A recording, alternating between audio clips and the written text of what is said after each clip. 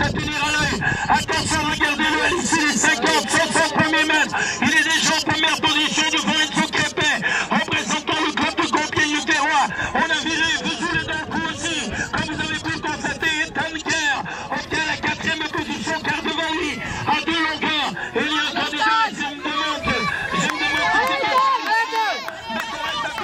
c'est à troisième position. Et ils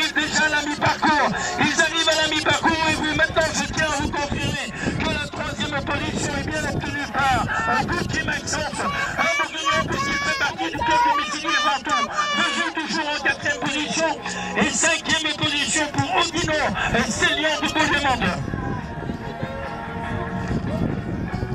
Ah, c'est numéro 26 maintenant.